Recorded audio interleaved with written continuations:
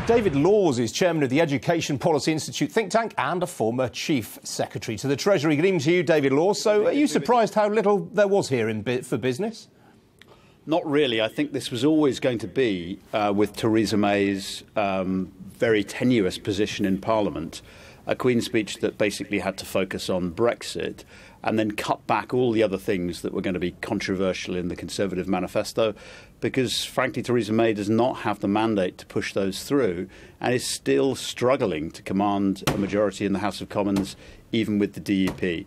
So I think it was unsurprising that we got a really pared down speech of this type.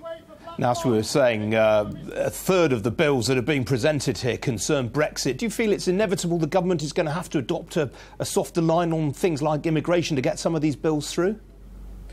I think there's going to be a, a direct uh, trade off in the negotiations uh, with our uh, EU counterparties over this issue of access to open markets versus the deal that is struck over immigration. And actually, what is it what is going on over the next few years in the negotiations with the EU will in many ways be far more important than what is going on on the floor of the House of Commons, although obviously the Commons at some stage has to ratify the position that the government takes. But I suspect the next few years uh, the focus is going to be less on the House of Commons and more on that uh, negotiating chamber in the EU.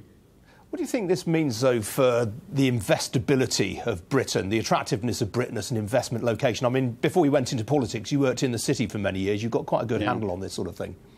Well, I was talking uh, to some people in business earlier today, and many of the businesses they represented are really blighted at the moment by not knowing what circumstances they will face in two, three, four years' time, and appear to be, as a consequence, pulling back on a lot of investment and actually relocating some of their activities abroad.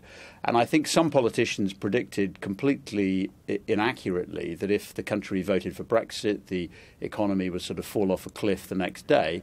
That really hasn't happened so far, unsurprisingly. But actually, it's over the next few years, as businesses take their investment decisions, that the risks for our economy arise. And there is a real risk at the moment that people in business don't want to invest in our country because they have no idea what circumstances and what access to markets they will face in a few years' time. The more reassurance the government can give them on those issues early on in the next uh, months rather than years, the better it will be for our investment climate and for jobs.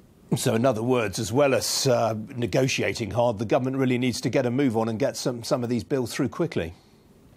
Yes, it does, and it needs to set out a vision of Brexit uh, which is realistic and which helps to keep open our access to trade and avoid us being locked out of the markets that we depend upon as a country for our jobs and our wealth. And if that reassurance can't be given to business, then there's a real risk of a downturn in investment and employment activity that will make uh, what's going on in today's Queen's speech and in Parliament look like, frankly, a sideshow because it is that negotiation over our future in the EU that is dominating the next few years, and the focus of a lot of that will be outside Parliament.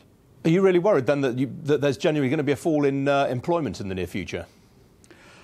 I don't know when it will occur, but I certainly think that there is a big risk that investment and hiring decisions over the next few years could be blighted by businesses not knowing what trading circumstances they face, and in some cases, uh, reducing their risks by redeploying activities overseas. I think that's already happening in certain sectors, but some sectors are more prone to it than others. So uh, the risk was never going to be, in my view, the immediate aftermath of a Brexit vote. It was going to be during this period of uh, uncertainty and indecision when our businesses simply don't know what economic circumstances they face. It's rather like the blight of investment after the great crash and the chaos in the Eurozone, where firms didn't really want to make investments in our country in the euro area because they didn't really know uh, whether even the currency could survive. And that sort of endemic uncertainty is what we could now face in the UK for a prolonged period. And it's why Theresa May's government have got to focus first and foremost on getting a clear position on Brexit and persuading businesses in this country that they can keep open uh, markets globally for British goods and services. Now, lest we forget, the deficit, barely mentioned in the election campaign, barely mentioned in the Queen's mm. speech today, yet this is probably the biggest challenge, along with Brexit, the government faces, isn't it? It is. There is still a case for getting that deficit down. It's come down very significantly since its peak of 160 billion. Uh, but we still got tens of billions of pounds imbalance between what we're spending each year and the money we're collecting in taxes. We're still uh, adding to our debt burden. And that's a real risk if there is a downturn in the economy because we could then find borrowing going up very rapidly to unsustainable levels. So it makes sense for us to go on reducing borrowing. But it's clear that the Chancellor and the government are going to face a very uh, tough set of circumstances in getting borrowing down further. Uh, the appetite now in some areas is to spend more on things like schools and hospitals.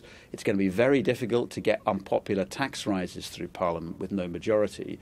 So, really, uh, the Chancellor has to hope that he can uh, avoid uh, having to spend too much more in some areas, avoid having to give away too much money in reductions in the tax burden. And he's got to focus on keeping growth going so that his tax revenues keep coming in and he can bear down on the amount of borrowing there is so he gets spending and tax revenues back into balance. We need to do that before we face the next uh, recession.